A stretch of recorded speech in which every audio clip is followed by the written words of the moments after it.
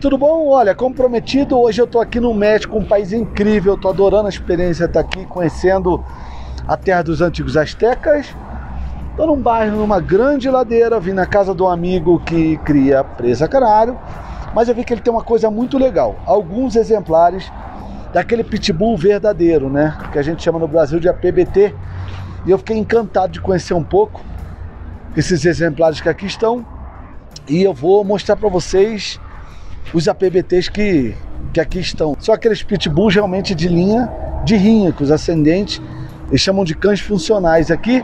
Vocês sabem que eu sou contra a rinha, meu vídeo jamais é influenciar alguém a comprar um cão ou ter ou praticar rinha, mas eu vou mostrar apenas o pitbull tradicional, que era usado na rinha, e esses cães nós vamos ver como é que é o temperamento, como é que é tudo. Lembrando que quem me apoia nessa trip aqui no México, ou em qualquer lugar que eu vá, é a Dog Protein e também a Bandog Gear, a melhor marca de coleira do mundo. Vem comigo.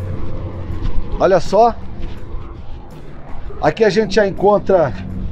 Ah, se eu tivesse uma caminhonete dessa aí, não estaria assim abandonado. Essa caminhonete é de 1970 e tanto, tá na família desde zero, que é bem legal. E olha quem já nos dá as boas-vindas. Como vocês podem ver, esse é um exemplar de um pitbull tradicional de cor negra. Tá vendo? Um cão bem lindo. E ao contrário do que pensam, não é um cão agressivo, porque essa raça não foi é, criada para ser agressivo com humanos. Então, é um cão é, que recebe a gente muito bem, mas é um cão que com certeza, eu vou falar com o Levi, o dono desse cão aqui, vocês vão ver mais, é um cão que não tolera outros cães. E aí, Levi, muitas graças por estar me recebendo no Acadêmico. Levi também é um criador de perro de presa canário.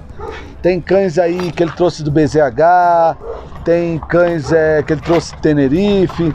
É um cara que. Há quanto ano ia criar perro de presa canário? 22 mais ou menos. 22 anos, ou seja, 22 anos que ele cria presa canário. Cara que já viajou o mundo inteiro. Quando eu falo viajou o mundo inteiro, a quanto país já viajou? Mirado pelo não 50? 50, certo? É, 50 países já viajou para conhecer cães. É um prazer estar aqui na casa dele. Ele é um amigo, esteve na minha casa é, de um tempo e ele também, é, ele que está uma, uma fêmea minha, está com ele e um amigo aqui que a gente mandou para cá, uma fêmea nossa. Levi, que exemplar é este? Lo que é isto? Isto é um pitbull tradicional? Isto é lo que é o verdadeiro pitbull? Sí, así es. Eh, el pitbull es una raza que se ha diversificado mucho. Y cuando la gente dice pitbull, pues imagina un tipo de perro bull. Pero actualmente, pues hay como 20, yo creo, formas de, de diferentes. Sí, de pitbull. De- de o, pitbull, o ¿no? de descendente. de pitbull monster y etcétera, etcétera. Pero el pitbull genuino fue creado para el combate. Sí. Entonces hay que recordar su historia, cómo comenzó. Y una característica de ellos, que ningún otro animal en, eh, lo tiene, que es la agresión intraespecífica. Esto quiere decir que atacan a sus mismos, a su misma especie sin haber provocación. Y el ataque siempre a- a- buscan a muerte. sí. Actualmente, bueno, esto ya no se practica, pero estos perros lo siguen conservando. Una de las razones por las cuales a mí me gusta esta raza es que, aunque fueron seleccionados para el combate, adquirieron ciertas características como es la resistencia al dolor Sí. y es este, mucha actividad. Entonces, un pitbull de estos se disfruta mucho porque puede salir a correr con él en la bicicleta y el perro Un perro que usted puede caminar por mucho tiempo, mucho tiempo, tiene una así es resistencia. y es muy resistente al dolor. Entonces sí, cuando uno lo lleva al veterinario y lo inyecta el perro ni siente la, la vacuna. Entonces es algo que a mí me gusta. Y estos perros fueron seleccionados para no tener agresión hacia el humano. Sí. Ajá. Eh, A mí mismo fue muy tranquilo. Sí, ellos son muy nobles con el humano y es una raza que incluso es recomendable con, con la familia Sí. porque no atacan a los niños, son muy tolerantes al dolor. El niño puede llegar y quizá alejarle la oreja, etcétera, y el perro no llora o no, no agrede por eso. Son muy resistentes al dolor, muy tolerantes, muy Sí. activos. Y bueno, es una raza que, que me gustó hace muchos años cuando todavía este, vivía eh, Juan José Padrón. eh, más conocido como el herreño, Sí, en paz descanse, un canario me decía que todo buen presero debería tener pitbulls. sí. Entonces era algo que... Hay, hay este, este tipo de pitbull. ¿Usted cree que hay dentro de sangre de perro de presa canario? Eh, yo desde mi muy particular punto pienso que sí, que sí se le ha inyectado a el- al presa el, el pitbull.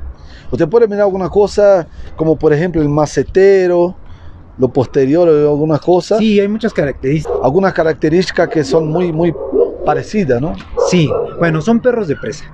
Sí. Entonces, al cruzarlos, si se cruzan, obviamente en la primera generación, lo que se le llama el F1, sí eh, se transmite inmediatamente las características fenotípicas Olha o macete, gente. Olha o de- macete. Olha o macete. Ele não para, tem uma energia que. para. E dá para mirar que tem uma energia que não para, não. Sí, e, no, no, e- e mira, e- não, eh, já vamos mostrar mais cães desses para vocês, que ele tem outros pitbulls ali.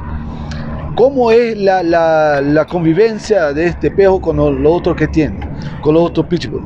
No, no se pueden convivir porque como lo dije, ellos ya traen en su temperamento lo que es la agresión intraespecífica. O sea, ele sente como se fuera un, un- el placer que se habla, o sea, Sí, sí, para él no, no es estresante, le, le gusta hacer esto. sí, eso lo, eh, sí, porque incluso estos perros eh, cuando están en el combate mueven la cola, están, les gusta. Sí. Este, como pueden ver, el perro no está marcado, este perro no se, no, no, no ha probado nunca la pelea, pero sí cuando ve a, a sus congéneres lo busca, lo quiere. Lo quiere, lo quiere pegar. Ahora, lo tienen un poco ellos, este, no están detonados, al no nunca haberse peleado, no están detonados, pero eh, siempre lo evito para que ellos Sí. no, no Te se... toma precauciones Sí, para que não, não passe esto. sí, sí, sí, claro, unas, muchas precauciones.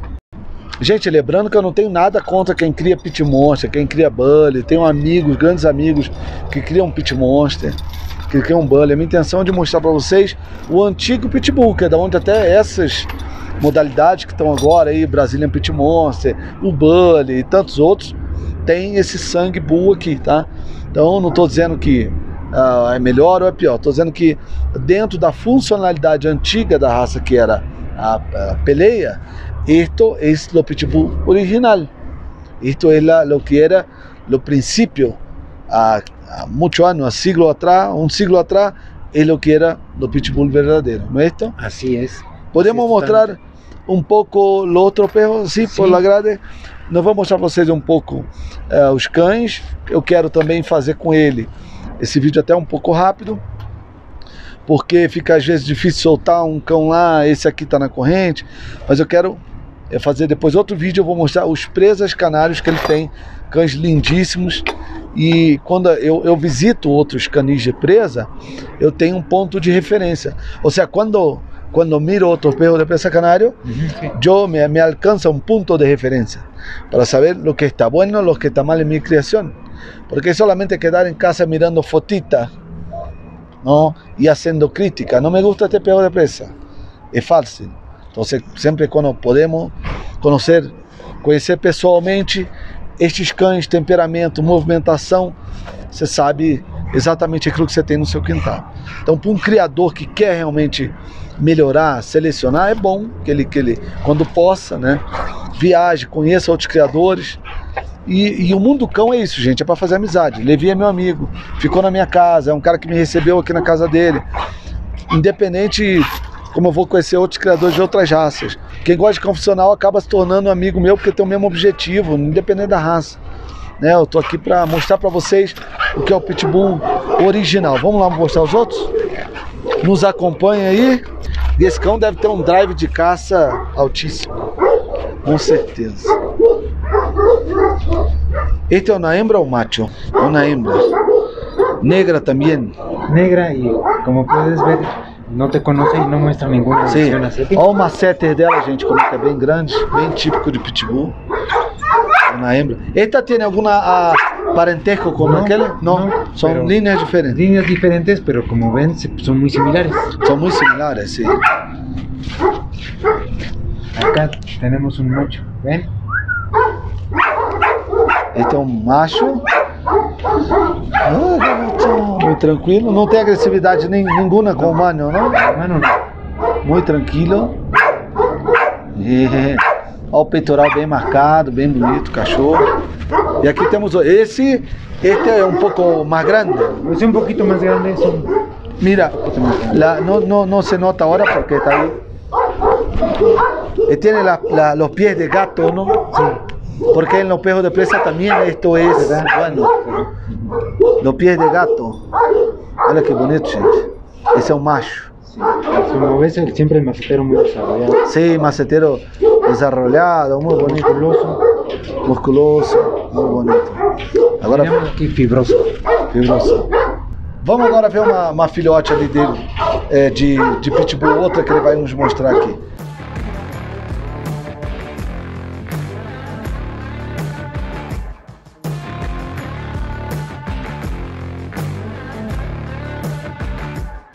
Mañana vamos a hacer un video de los Lo precios. sacamos. Lo sacamos con calma, porque también ahora está quedando frío acá en México, ¿no? Sí, claro. Ya está enfriando bien. Hay un concepto generalizado de que el pitbull es un perro temible y agresivo. Y es, es mal comprendido el perro. Como les comentaba, el pitbull es muy eh, amigable, muy cariñoso con todos los humanos. Con niños, No, con sí, todo. no presenta agresión intraespecífica, perdón, eh, agresión hacia el humano, solamente hacia sus congéneres. Pero uno si los controla, pues puede evitar uno muchos este, confrontamientos entre ellos. Sí, claro. Tiene una persona con responsabilidad, ¿no? Que- que Sí, tenga- claro, claro, hay que ser responsables y como ahorita vieron, eh, yo tengo, los tengo, este, bueno, exagero en precaución para que no haya accidentes Sí. entre los ¿A perros. cuánto tiempo usted tiene Pitbull? Eso no le pregunté. ¿Hace cuánto No, tiempo? Pues los he tenido en diferentes etapas de mi vida, o sea, mm, pero la primera vez que tuve uno ya fue ya hace muchísimos años también, O sea, pero... usted eh, tuve primero Pitbull do que Presa Canal. Sí, claro, claro, sí. El pitbull, este, desde hace mucho, es una raza que es muy común aquí en México. Sí, el pitbull. Por la proximidad con Estados Sí, Unidos. la proximidad con Estados Unidos, este, entonces, pues es una raza que, eh, como digo, es común y me gustan los perros de presa, por eso es que después caí en el presa canario. Ah, sim. Que bom que você caiu está em perro de Presa Canário Así agora. sí. Gente, esse foi o vídeo de hoje. Agradeço a você que viu até agora. Foi um vídeo até informal. Sí, muy- Então, assim, de lo nada, vamos fazer. Quero filmar os pitbull de, de Levi. Mañana vamos fazer um vídeo melhor. Vamos sacar perro de presa canário para que você eh, eh, miren todos os perros aí. E você vai poder falar um pouco de cada linha. Porque a pessoa em Brasil, como na raça nova em Brasil, a pessoa não entende o que é um perro BZH ou BZH, o que tem por trás, um linha M, um, um etc. Um exemplo, não? Então podemos sacar os perros e falar. Graças por tudo. Obrigado a você que viu até o final. Beijo do gordo. Vou aqui no Mestre tomar PUC. Vamos tomar PUC? Você vai me levar para tomar Claro que PUC? sí, un pulque. Tomar PUC é uma, uma bebida de cacto, não? Sí, de, De lo antigo azteca. así es. Que, que, que vou tomar. Ok? Até amanhã, mais vídeos. Acompanha aí, tamo junto, galera. Comenta. Gosta do Pitbull ou gosta mais do Pitmonster ou que Pitbull? Tamo junto, valeu.